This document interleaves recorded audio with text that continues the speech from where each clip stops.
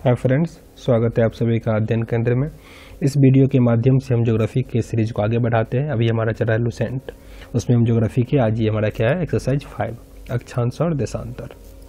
इससे पहले मैंने हर सब्जेक्ट का अलग लेसन लेसन का वीडियो बना दिया हूँ। अगर आप नहीं देखे हो तो प्लीज़ देख लीजिएगा, क्योंकि लुसेंट क्या है, काफ़ी बेनिफिशियल होता है किसी भी कम्पिटेटिव एग्ज़ाम के लिए। तो आज का हमारा पहला प्रश्न है स्टार्ट करते हैं। भूमध्य रेखा से उत्तर या दक्षिण की दिए गए स्थान की कोणीय दूरी क्या कहलाती है?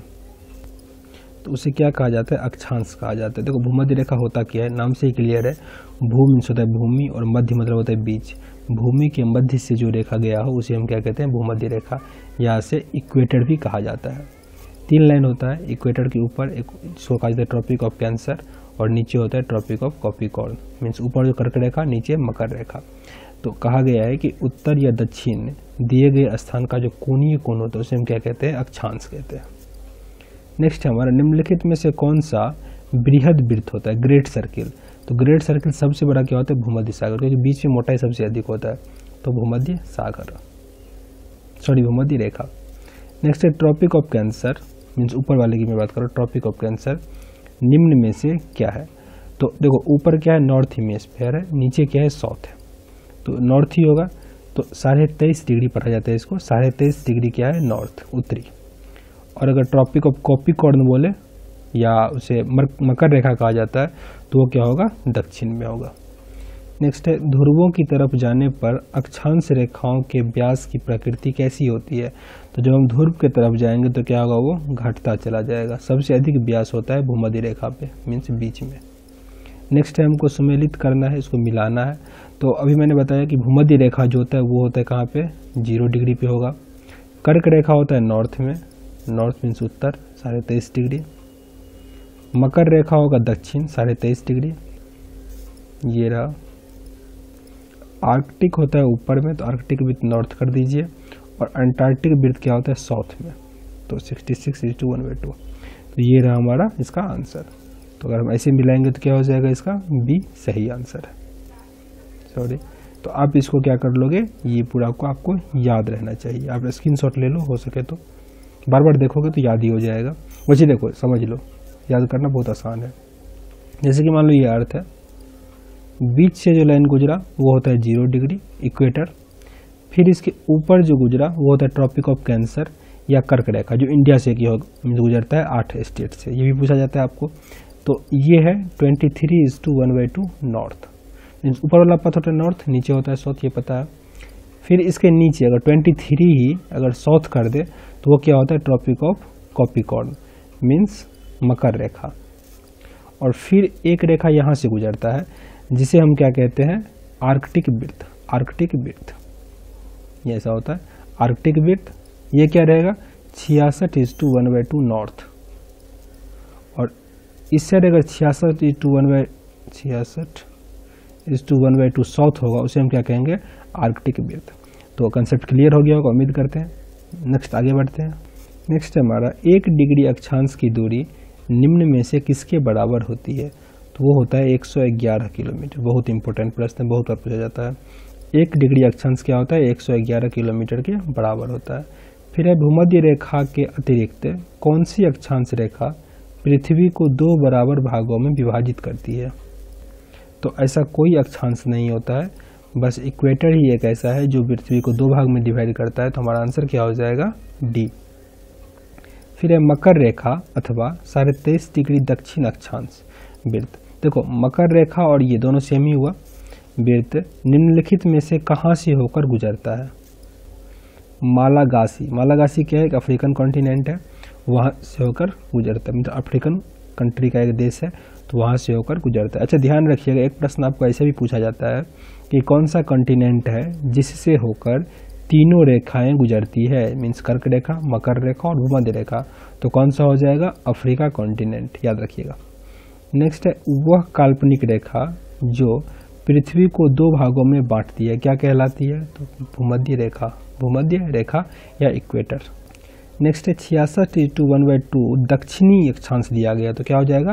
अंटार्कटिक अगर यहीं उत्तरी रहता तो हम आर्टिक करते। हैं फिर है दो ध्रुवों को जोड़ने वाली, वह काल्पनिक रेखा जो भूमध्य रेखा को समकोण पर प्रतिच्छेदित करती है, क्या कहलाती है? तो उसे हम कहते हैं देशांतर देशांतर। जैसे देखो, ये मान लो अर्थ है तो ये तो हो गया इक्वेटर। और यहाँ से जो नाइन्टी डिग्री काट दे, वो क्या कहलाता है? देशांतर। नेक्स्ट है दो देशांतर रेखाओं के बीच की दूरी निम्न में से किस नाम से जानी जाती है? तो क्या कहा जाता है उसको? गोरे कहा जाता है, गोरे। एक देशांतर से दूसरे देशांतर के बीच समय अंतराल होता है। मीन्स एक देशांतर से दूसरे देशांतर तक का जो समय अंतराल होता है, वो होता है चार मिनट का। ये आपसे पूछा जा सकता है। कितने अंतराल का? चार मिनट का होता है।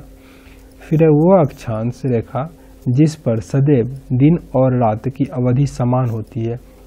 देखो, दिन और रात की अवधि समान होती है, वो होता है भूमध्य रेखा पर। और इस लाइन को मीन्स दिन और रात समान होना, उसे कहा जाता है इक्वेनॉक्स इस वर्ड को याद रखना equinox what is the meaning of equinox the duration of day and night is equal ठीक ना? ये क्या होता है? इक्वेनॉक्स नेक्स्ट है, निम्नलिखित में से कौन सुमेलित नहीं है? तो कर्क रेखा तेईस डिग्री, साढ़े तेईस डिग्री नॉर्थ सही है, मकर रेखा साउथ में ये भी सही है, अंटार्कटिक ये भी सही है, प्रधान यमयोत्तर गलत है, ठीक ना? ये होता है ज़ीरो डिग्री। निम्नलिखित में से कौन सा कथन असत्य है? तो इसमें ये गलत है और सारा हम पढ़ देते हैं जो सब सही है। किसी भी स्थान की ग्रीनविच रेखा से कोणीय दूरी को उस स्थान का देशांतर कहा जाता है। अच्छा ग्रीनविच कहाँ पे है? इंग्लैंड में है, इसे प्राइम मेरिडियन भी कहा जाता है, याद रखिएगा। फिर देशांतर रेखाओं के बीच की दूरी विश्वत रेखा पर अधिकतम एवं शून्य होती है। इंपॉर्टेंट है, याद रखिएगा। विश्वत रेखा पर देशांतर रेखाओं के बीच की दूरी कितना होता है? ग्यारह ग्यारह means one one one point three kilometre होता है। वैसे आप एक एक याद रखिएगा तो दिक्कत नहीं होगा। नेक्स्ट है हमारा, इनमें से कौन सा असत्य है? तो विश्वत रेखा से ध्रुवों की ओर जाने वाली अक्षांश रेखाओं के बीच की आंशिक रूप से वृद्धि होती जाती है। हाँ वृद्धि होती जाती है क्योंकि यह होता है फैलता चला जाता है। फिर किसी भी स्थान की प्रधान युग्मोत्तर के कोणीय दूरी को उस स्थान का अक्षांश कहते हैं, नहीं, उसे देशांतर कहा जाता है। ये गलत हो गया। आंसर हमारा क्या होगा? बी फिर विश्वत रेखा एक बृहद वृत्त है। सही है। देखो, बृहद वृत्त का मतलब है, वृत्त तो है, सबसे बड़ा वृत्त होता है वो मीन्स इक्वेटर भूमध्य रेखा। सभी देशांतर रेखाएँ बृहद होती है। तो हाँ सही है। सभी देशांतर रेखाएँ क्या होती है? बृहद होती है। फिर है, दो अक्षांश रेखाओं के बीच की दूरी लगभग कितनी होती है? तो 111 किलोमीटर हम अभी पढ़े हैं। नेक्स्ट है, एक डिग्री देशांतर की सर्वाधिक दूरी कहाँ पर होती है? तो वो होती है विश्वत रेखा पर। विश्वत रेखा पर। कुल अक्षांशों की संख्या कितनी है? कुल अक्षांशों की संख्या 180 है। कितनी है? 180 देशांतरों की कुल संख्या कितनी है? तो देशांतरों की कुल संख्या है 360 याद रखिएगा, कितनी है? 360 तो ये आपसे प्रश्न कथन में पूछ दिया जाएगा। उसमें दे देगा कि अक्षांश है 360 और देशांतर है 180 तो इसमें कन्फ्यूज़ हो जाते हैं बच्चे। तो याद रखिएगा। देखो, देशांतर में अधिक अक्षर है। देशांतर में क्या है? अधिक अक्षर है। तो अधिक वाले पे हम जाएँगे 360 वाले पे जाएँगे। अक्षांश में क्या है? कम अक्षर है तो कम वाले पे जाएँगे। आप ऐसा अपने दिमाग में रखो लॉजिक दिक्कत नहीं होगा। नेक्स्ट है विश्वत रेखा के समांतर काल्पनिक रेखाएँ क्या कहलाती है? तो कहलाती है अक्षांश रेखाएँ। क्या कहलाती है? अक्षांश रेखाएँ। पृथ्वी के उत्तरी ध्रुव एवं दक्षिणी ध्रुव को मिलाने वाली रेखा क्या कहलाती है? उसे हम कहते हैं देशांतर रेखाएँ देशांतर रेखाएँ। प्रधान मध्यान्ह रेखा किस स्थान से होकर गुजरती है? तो ये कहाँ से? Greenwich Greenwich England से। नेक्स्ट है ग्रीनविच रेखा से तात्पर्य है। मीन्स क्या होता है? ज़ीरो डिग्री देशांतर। ज़ीरो डिग्री देशांतर। फिर मकर रेखा निम्न में से किस देश से होकर नहीं गुजरता है? तो ये फिलीपींस से होकर नहीं गुजरता है। मकर रेखा फिलीपींस से होकर नहीं गुजरता है। पृथ्वी एक घंटे में कितना देशांतर घूम लेती है? बहुत इंपॉर्टेंट प्रश्न है, पूछा जाता है। पंद्रह डिग्री, एक घंटे में पंद्रह डिग्री घूमता है। फिर है दक्षिणी ध्रुव का अक्षांश है। दक्षिणी ध्रुव का अक्षांश कितना है?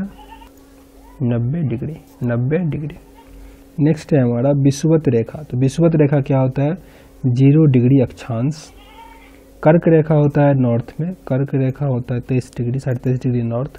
मकर रेखा, साढ़े तेईस डिग्री साउथ। और ग्रीन विच रेखा, ज़ीरो डिग्री देशांतर। तो हमारा आंसर क्या हो जाएगा? ए। फिर नेक्स्ट यही दिया गया है कि सुमेलित करना है। तो जो आता है पहले उसी से कीजिए। देखिए, अंतर्राष्ट्रीय तिथि रेखा होता है ज़ीरो डिग्री 180 डिग्री देशांतर। विश्वत रेखा होता है ज़ीरो डिग्री अक्षांश। और अंटार्कटिक होता है, अंटार्कटिक नीचे में होता है, मीन्स दक्षिण में। और आर्कटिक कहाँ पे होता है? उत्तर में। तो ये हो गया हमारा, मीन्स एक का तीन। देखो, सी हमारा सही आंसर है। नेक्स्ट है दो स्थानों के देशांतरों में एक डिग्री का अंतर होने से समय का कितना अंतर हो जाता है? ये भी प्रश्न बहुत बार पूछा जाता है। चार मिनट चार मिनट। अब जैसे भी आएगा कि चार चार मिनट में कितना डिग्री अंतर होता है तो वो एक डिग्री। तो जैसे आपसे प्रश्न पूछा जाए, उसके अकॉर्डिंग आंसर करना। फिर निम्नलिखित में से किस देश से होकर कर्क रेखा नहीं गुजरती है? तो भारत, चीन, म्यांमार से गुजरता है, जायरे से नहीं गुजरता, याद रखना। फिर उत्तरी गोलार्ध में भू धरातल अधिकतम है। तो 30 डिग्री नॉर्थ से 40 डिग्री नॉर्थ के बीच आसपास चारों ओर क्या है? धरातल ही धरातल है। सबसे अधिक धरातल पाया जाता है और सबसे अधिक आबादी भी होता है इसी एरिया में। नेक्स्ट है मानचित्र पर स्थित अक्षांश एवं दिशांतर रेखाओं के बारे में निम्नलिखित में से कौन सा कथन सही है? तो क्या है? दोनों क्या करता है? एक दूसरे को लंबत काटता है। दोनों एक दूसरे को लंबत काटता है।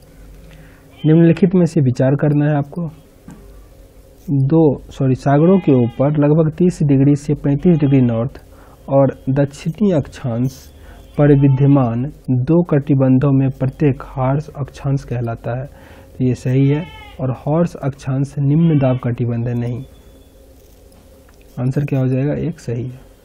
नेक्स्ट, निम्नलिखित नगरों में से कौन सा भूकंप रेखा के सर्वाधिक निकट है?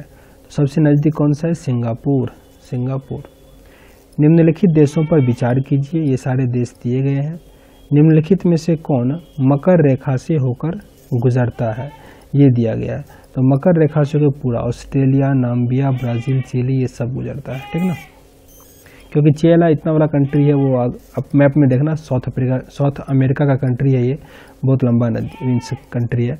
और साथ ही एक इंटरेस्टिंग फैक्ट है इसके साथ, कि जब कोई आर्कटिक कॉन्टिनेंट पे जाएगा। तो ऐसा भी प्रश्न आयस में भी पूछा गया था एक बार कि आर्कटिक कॉन्टिनेंट पे अगर आपको जाना है तो आप कौन से कंट्री पे पहले जाओगे? कौन से कंट्री से होकर जाना होगा? तो बहुत बच्चे क्या करते हैं ऑस्ट्रेलिया टिक लगाते हैं। पर आप मैप को ध्यान से देखना, तब तो आपको पता चलेगा कि चिली जो है, वो सबसे नज़दीक होता है, ठीक ना? तो वो भी प्रश्न याद रखना। तो इसका आंसर क्या हो जाएगा? डी एक, दो, तीन, चार। तो ये था इस वीडियो का एंड अगर आप इस वीडियो से कुछ सीखने को मिला होगा तो लाइक कीजिए और कमेंट करके बताइए। और अगर पसंद नहीं आया होगा तो डिसलाइक भी कीजिए पर कारण ज़रूर बताइए ताकि हम वीडियो को और इम्प्रूव कर सके। और अगर चैनल पर नए हैं तो प्लीज़ सब्सक्राइब कीजिए और अपने दोस्तों के साथ भी शेयर कीजिए। मिलते हैं नेक्स्ट वीडियो में, तब तक के लिए जय हिंद।